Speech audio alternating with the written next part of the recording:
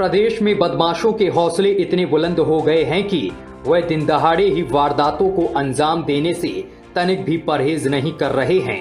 बदमाशों में प्रशासन का तनिक भी खौफ नहीं है।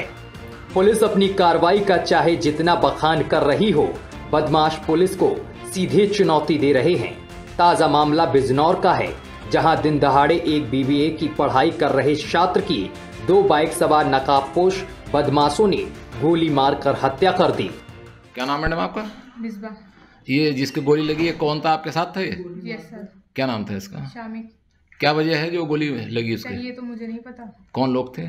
बस दो लोग थे बाइक से थे। अच्छा। तो कभी देखा उनको पहले? नहीं कभी नहीं देखा मैंने। उन्होंने यार अपना मुँह भी ढक रखा था। किस चीज़ से थे वो? बाइक से।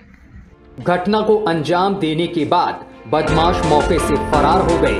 मृतक छात्र अपनी सहपाठी के साथ क्लास लेकर घर जा रहा था। वहीं घटना पर पहुँची पुलिस सीसीटीवी फुटेज के आधार पर घटना की जाँच में जुट गई है।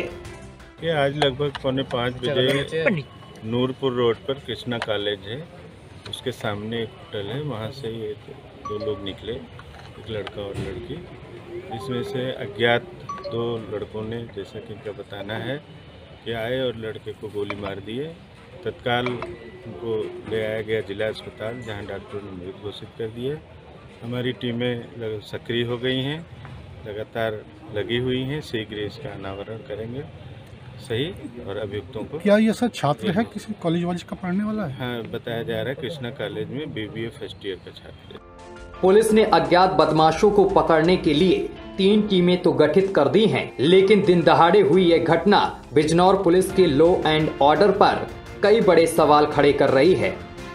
बहरहाल देखना होगा कि पुलिस इस हत्या की गुत्थी को कितनी जल्दी सुलझाती है।